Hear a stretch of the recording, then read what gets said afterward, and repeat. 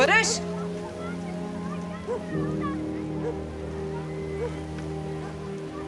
Ne yapmaya çalışıyorsun? Özür demek istedim. Özür notu içinde zaten. Konuşmak istemediğini biliyorum. Belki notu okursun diye düşündüm.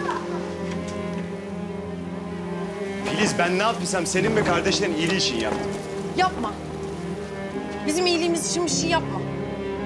Bize yapabileceğin tek iyilik uzak durmak. İyi de anlamıyorum neden. Neden mi?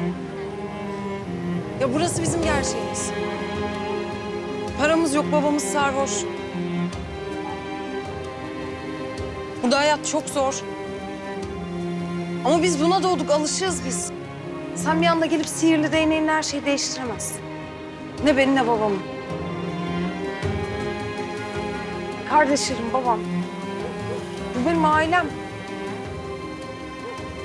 Bu bizim hikayemiz. Bu hikayede sen yoksun.